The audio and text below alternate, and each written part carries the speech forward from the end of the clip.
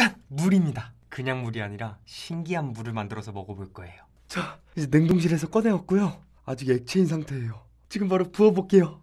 이야, 오오오 오, 온다. 호호, 이렇게 얼음으로 쌓여요. 오오, 우와, 너무 신기해. 우와, 우와, 재밌다. 뭐라 해야 될까? 슬러시처럼 이렇게 슬러시처럼 얼었어요. 음, 노란색도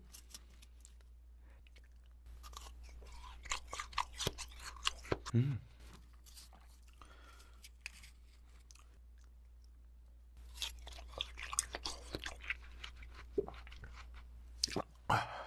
이야,